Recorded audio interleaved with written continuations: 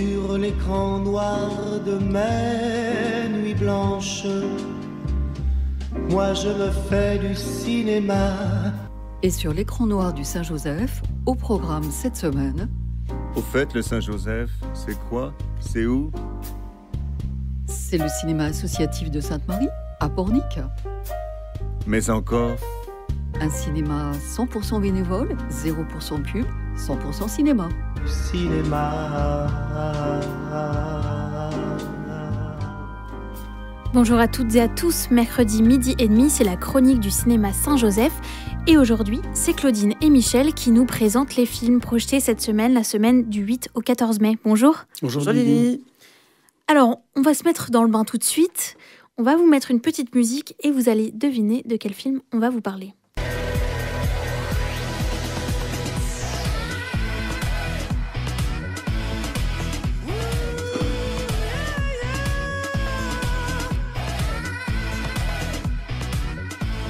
C'est remixé, mais on, on reconnaît quand même. Ah ouais, on reconnaît bien SOS Fantôme.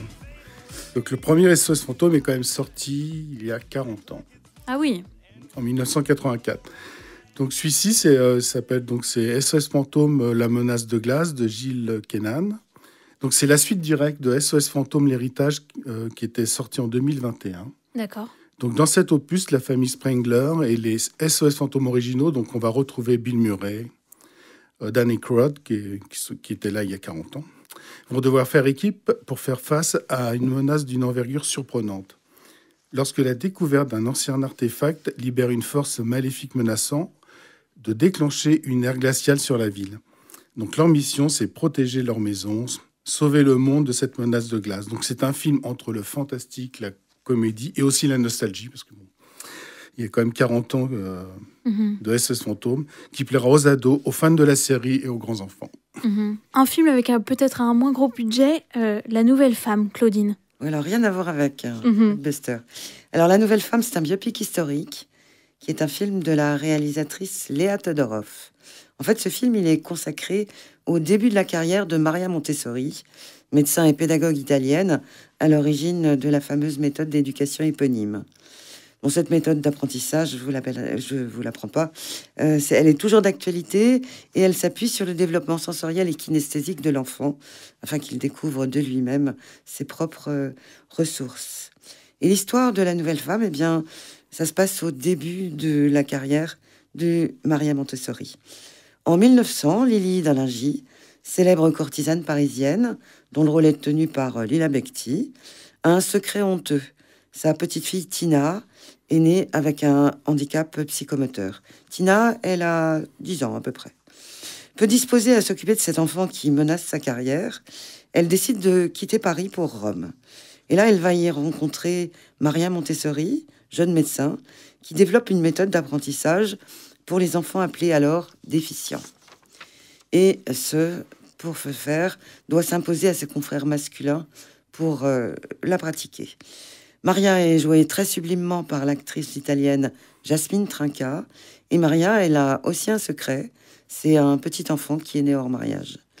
La rencontre de ces deux femmes, l'une inventée de toutes pièces par la réalisatrice, donc euh, la parisienne, l'autre euh, devenue une égérie de la pédagogie active, euh, va nous montrer comment, à une époque vouée au patriarcat, la femme, elle peut se faire une place dans la société. Mhm. C'est un film euh, d'un féminisme intelligent, c'est une belle histoire d'amitié entre ces femmes que tout sépare en fait. Il y a des scènes tournées avec les enfants neuroatypiques qui sont vraiment bouleversantes et dont notamment Raphaël, qui est une jeune handicapée mentale française, qui joue de façon très touchante le rôle de Tina. Les décors et costumes sont particulièrement soignés et les dialogues conjuguent le français et l'italien de façon très sympathique.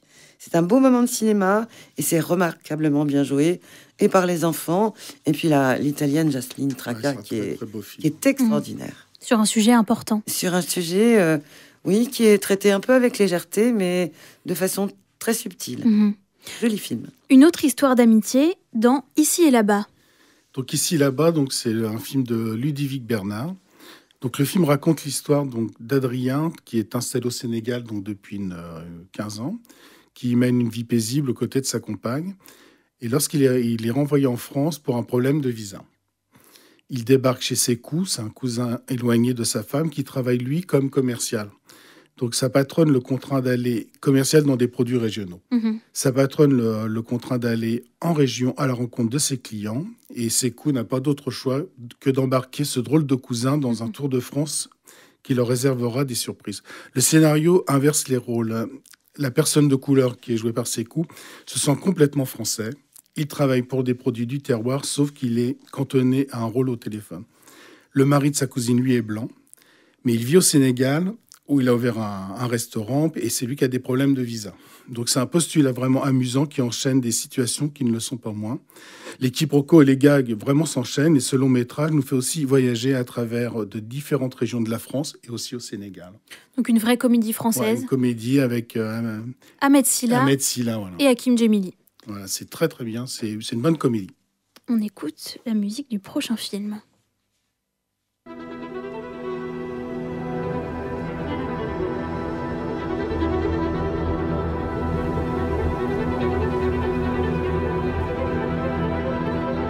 La musique de Le mal n'existe pas, musique qui a fait beaucoup de bruit, qui a été beaucoup mise en avant pour ce film.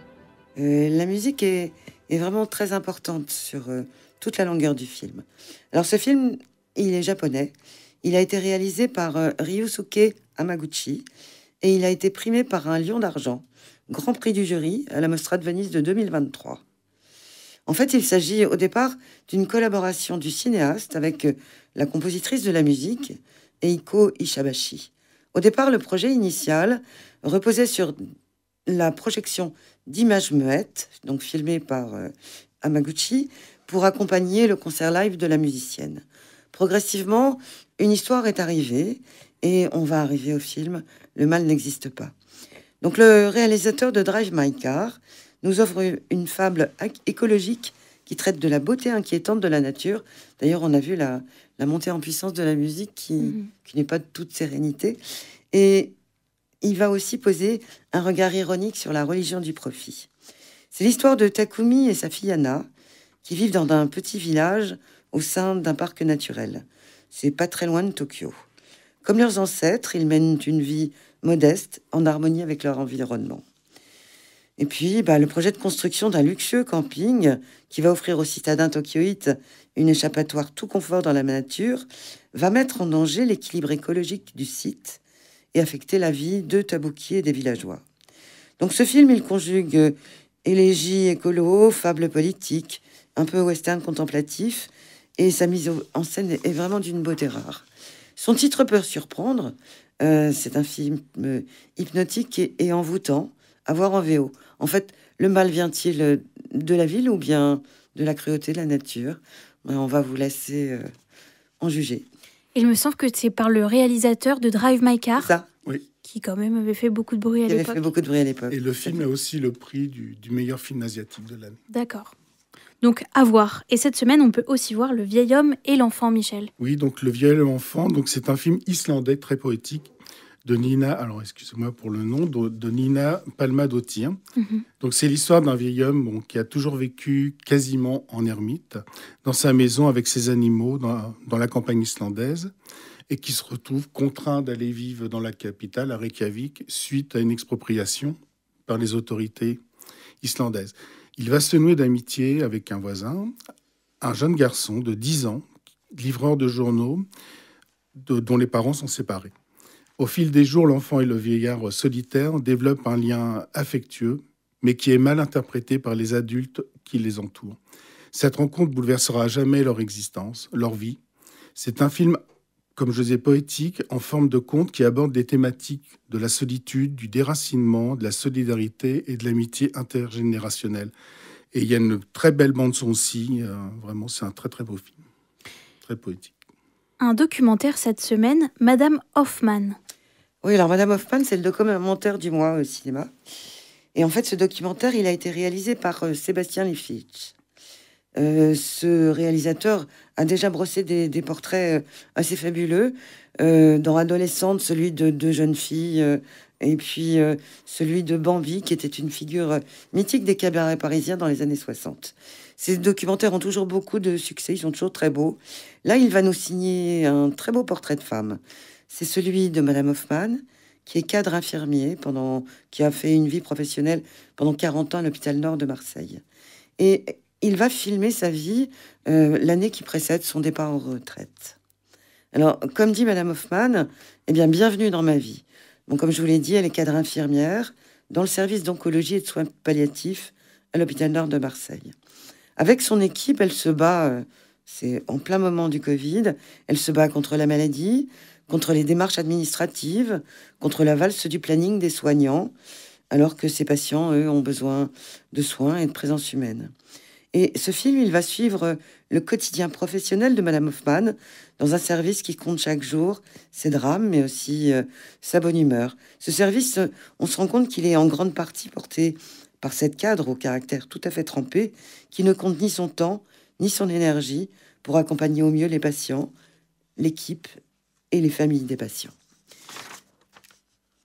On suit aussi Madame Hoffman dans sa vie personnelle, qui n'est pas non plus de tourpeau, entre sa maman de 85 ans qui se bat avec une récidive de cancer, sa fille, son petit-fils, quelques moments assez délicats avec son mari, et tout ça en présence de la caméra.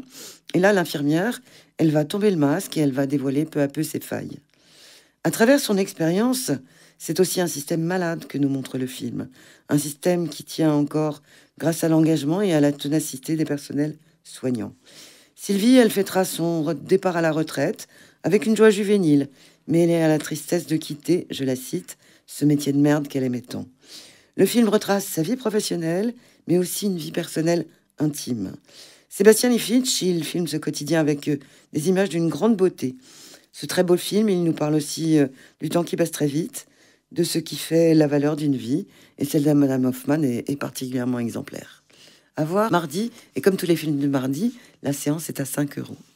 Il faut en profiter. Un autre documentaire, Une famille de Christine Angot. Oui, donc c'est euh, un, un, documentaire, un film, un documentaire de Christine Angot. Donc c'est aussi bon, le sujet est difficile, c'est mhm. euh, sur l'inceste dont elle était victime. Donc elle a déjà sorti un livre euh, à ce sujet en 1999 qui s'appelle L'inceste. Et là, le film, il, va, il commence à Strasbourg, parce que bon, c'est là où se sont déroulés euh, les faits, et elle ne, voulait, euh, elle ne voulait jamais retourner dans cette ville. Sauf qu'à l'occasion d'une tournée promotionnelle organisée par son auditeur, elle a quand même décidé d'y aller, et elle a embarqué sa caméra. Donc le film commence donc à Strasbourg, là où Christine Angot a rencontré son père pour la première fois à l'âge de 13 ans. Et c'est là où il a commencé à la violer. Et c'est là aussi son père est mort en 1999. À Strasbourg vit aussi la veuve de son père. Donc Christine Angot va sonner à sa porte et la force euh, le face à face avec elle. Ensuite, elle va interroger sa mère, son ex-mari, sa fille Léonore, pour leur poser la question du regard qu'ils portent chacun et chacune sur l'inceste qu'elle a subi. Donc le film tisse ces différents face-à-face avec des images d'archives intimes, des photos, des vidéos tournées il y a 30 ans elle montre par l'image qui est vraiment l'inceste. C'est un film vraiment bon, bouleversant, qui va bien au-delà de la douleur d'une personne. Et le film a vraiment été euh, salué unanimement par les, par les critiques, euh, que ce soit Télérama, Masque et la plume, etc. Vraiment. Mhm. Voilà, donc c'est un sujet difficile, mais euh, un film bouleversant, mais très douloureux. Film difficile. Mhm. Exactement, oui. Mais important. Et dedans, il y a une musique de Caetano Veloso, quand même un grand chanteur brésilien. Voilà, donc, On l'écoute tout de suite la mer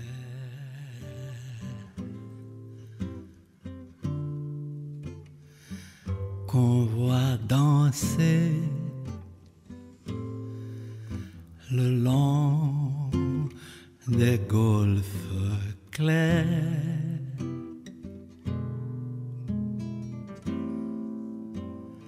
à des reflets d'argent, la mer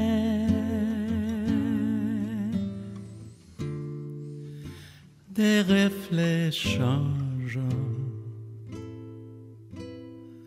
sous la pluie. Une très belle version de La mer de Charles Trenet. et qui a été enregistrée spécialement pour le film. Un film un peu plus léger, mais d'un sujet quand même important. Le jour où j'ai rencontré ma mère. Alors oui, c'est peut-être plus léger, mais ça parle aussi d'enfance mm chamboulée. Euh, bon, ça s'adresse à, un, public beaucoup plus jeune, hein, puisqu'on peut tout à fait emmener ses adolescents et peut-être même avec euh, pour les faire un petit peu réfléchir. Mm. Donc ce film, il- on l'avait projeté déjà au festival Télérama, et donc il s'adresse aux plus de 12 ans. En fait, le jour où j'ai rencontré ma mère, c'est l'histoire de Lou. Lou, elle a 11 ans et elle vit dans un foyer d'accueil aux Pays-Bas. Euh, de sa mère, euh, Karina, qui jusque-là a fui toutes ses obligations maternelles, elle, il ne lui reste qu'une version complètement idéalisée. Elle l'imagine actrice à Hollywood. Et puis en fait, un jour, sans prévenir, eh bien, Karine va débarquer. Elle est tonitruante, elle est très haute en couleur, et elle va kidnapper sa fille pour une virée en Cadillac en direction de la Pologne. Et les voilà partis pour un road movie débridé, avec une imagerie vraiment très kitsch, qui s'adresse avec humour à un jeune public en lui montrant qu'il ne suffit pas d'être adulte pour être responsable. C'est un Thelma et Louise version mère-fille, avec une fin quand même un petit peu moins difficile. Et ça mise sur l'humour, et, et c'est l'insolence des enfants chahutés, comme on l'a dit tout à l'heure. Un film euh, joyeux. Si vous ne l'avez pas vu, vous êtes presque le seul, ou si vous voulez le revoir, vous pouvez euh, cette semaine voir Anatomie d'une chute. Oui, on repasse une fois encore. Mhm. Anatomie d'une chute. Bon, c'est On se refait On ne s'en lasse pas. On se Voilà, refait plaisir, voilà. Mhm. le film de Justine Trier. Voilà, c'est multiprimé. et Mhm. Il va repasser au Saint-Joseph pour, euh, Bah, pour ceux qui ont raté encore, s'il y en a. Est-ce qu'on doit encore le décrire? Bon, tout le monde sait. Ouais, tout le monde le connaît. C'est un film magistral, vraiment un Oui. très très beau film. Et, euh, Qui est devenu un classique, donc ça vaut le coup d'aller le voir au cinéma. Ouais, un très beau film. Très beau film. Mhm. Et le dernier film de la semaine, c'est Une vie, Claudine. Alors, bah là aussi, hein, on fait un peu du. Mais c'est quand même le, un des coups de cœur de cette année euh, Mhm. du cinéma Saint-Joseph. Une vie, effectivement. Euh, c'est un film britannique qui a été réalisé par James Hawes. Et Une vie, en fait, c'est un, bio- un biopic adapté du livre de Barbara Winton, If It's Not Impossible. Et c'est sur la vie de son père, Sir Nicolas Winton. Mhm. Alors l'histoire de Nicolas Winton, elle est assez fabuleuse. En 1938, Nicolas Winton, qui est un jeune agent de change londonien, visite la Tchécoslovaquie. Et en fait, à ce- cette période, il va être confronté à l'exil de familles juives devant la montée du nazisme. Ces familles, elles viennent d'Allemagne, d'Autriche, ou de... elles sont aussi tchécoslovaques. Croisant la route de sa compatriote, Doreen Wariner, qui est responsable du comité britannique pour les réfugiés à Prague, et horrifié par les conditions de vie dans les camps de réfugiés, Nicolas décide de participer aux obstages des enfants de ces camps. Avec l'aide de sa mère Babette, elle-même émigrée juive allemande et convertie à l'église anglicane, il va organiser des collectes de dons et surtout rechercher des familles anglaises d'accueil pour les enfants. Malgré de nombreux obstacles, il va quand même pouvoir à mettre euh, en sécurité 669 enfants. À la fin du conflit mondial, il va taire cet épisode de la vie. Et c'est en retraite, 50 ans plus tard, qu'il va accéder à la demande de sa femme Greta et mettre de l'ordre dans son bureau. Nicolas va ainsi retrouver ses anciens dossiers, témoins de son action de 38 à 40, ainsi que les listes et les photos des enfants qu'il euh, voulait mettre en sécurité. Ces archives, elles arrivent par l'intermédiaire de l'épouse du magnat, du des médias, Robert Maxwell, et elles vont parvenir donc au producteur d'une émission très populaire à la BBC, That's Life. Mhm. C'est ainsi que va être euh, révélé le rôle de Nicolas Winton euh, pendant la guerre, et ça c'est en 88. Euh, jouant celui qu'on nomme le Schindler britannique, deux comédiens vont succéder à l'écran. Johnny Flynn pour Nicolas Winton en 38 et Anthony Hopkins pour euh, Nicolas Winton en 88. Donc le rythme du film, il va alterner entre 38 et 88. Et ce découpage va donner euh, sa toute puissance émotionnelle à la scène du film où Winton, lors de l'émission télévisée qui va être enregistrée à la BBC, va se retrouver entouré de figurants, tous des descendants des enfants ou Mhm. des enfants eux-mêmes qu'il a sauvés sans jamais s'en être vanté de toute sa vie. Euh, le tournage a eu lieu en décor réel, euh, et notamment sur le quai même de la gare de Prague, où les enfants ont quitté leurs parents avant de partir pour l'Angleterre. On voit des scènes tout à fait touchantes à ce moment-là. Euh, Peut-être même un petit peu larmoyantes, mais bon, ça représente bien l'époque. Euh, si Johnny Flynn est excellent, euh, Anthony Hopkins y est magistral, et il va nous offrir une de ses meilleures prestations. Alors, si vous n'avez pas vu une vie, euh, Mhm. allez-y, Il faut y aller. vous passerez un bon moment. Encore un mardi, donc euh, 5 euros la place. Coup de cœur. Voilà. Eh bien, une très belle programmation pour cette semaine du 8 au 14 mai. Toutes les informations, vous pouvez les retrouver sur le site du cinéma Saint-Joseph. Merci beaucoup Claudine et Michel. Merci Lily. Merci. On se retrouve la semaine prochaine puisque la chronique du cinéma Saint-Joseph, c'est tous les mercredis à midi et demi. Et je t'emmène